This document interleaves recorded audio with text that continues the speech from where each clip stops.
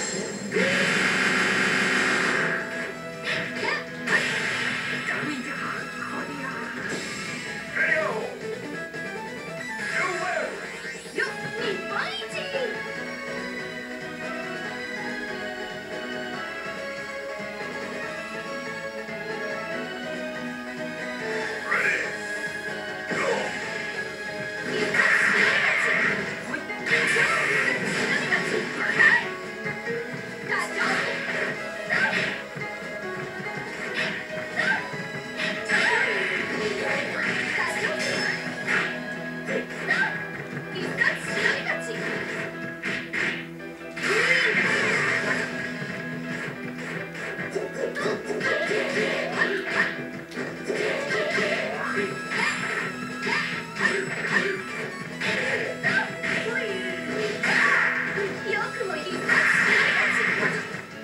the